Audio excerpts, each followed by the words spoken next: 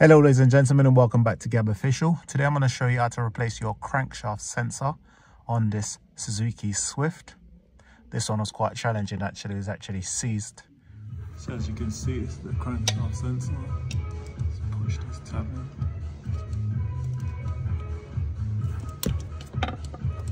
Push this yellow tab out.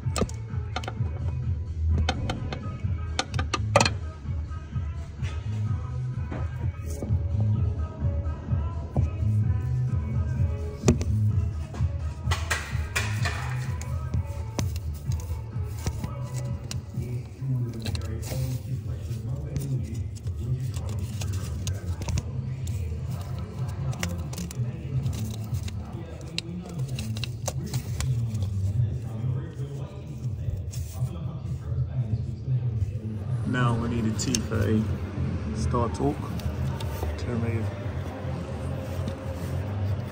that bolt. So I'm to go ahead and do that now. Okay, once you've loosened it with your ratchet, screw it out like so.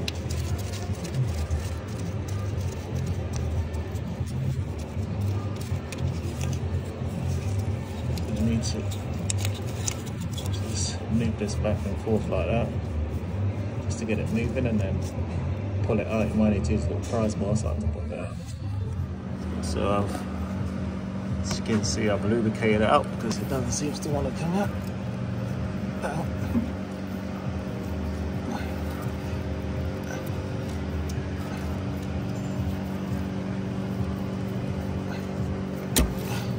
Oops.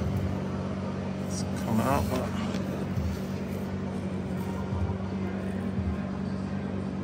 the casing is stuck in there, so I'm gonna have to remove that. So you can see this is the new one that we're going to be fitting. And as you can see that one's broken off. As you can see it's the outer casing.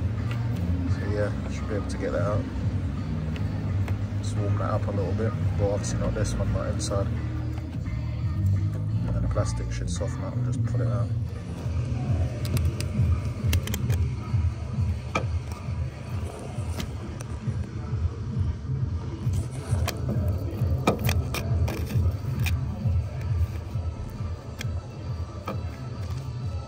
See, it's a hole in there now.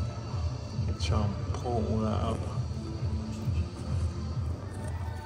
So as you can see, I've got the plastic bit out of it. Right, now I've got a new sensor. I'm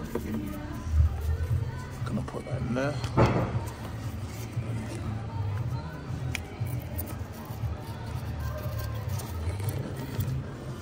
So I've now tightened that as well. All we've got to do is put this plug back in.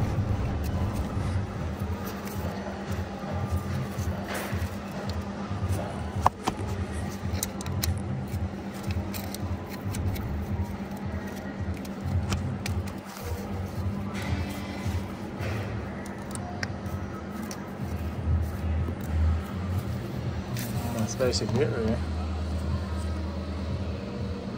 Thank you for watching. As you can see, the reason why I changed the crankshaft sensors is because the car kept on starting and cutting out. As you can see now, car's running. Thank you, and thank you for choosing Gab Official. Please like, share, and subscribe for further content on my channel. Stay blessed, keep on rolling. Boom.